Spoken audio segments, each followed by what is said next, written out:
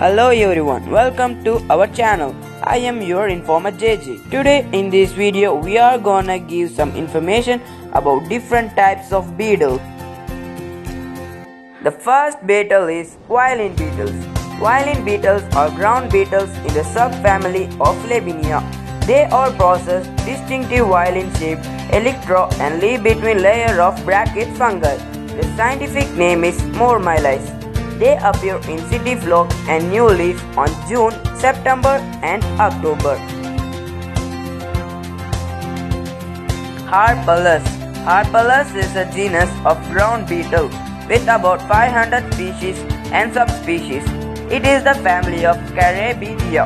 The size is 2 cm and found on Cumberland Country, North Carolina and USA.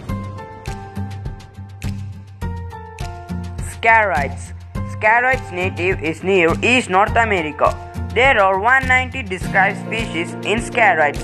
If we test them, they often play dead by folding their legs and arching their backs. The adult beetles are predators and have been predator overpowering mealworms much larger than them. The next beetle is leaf beetle.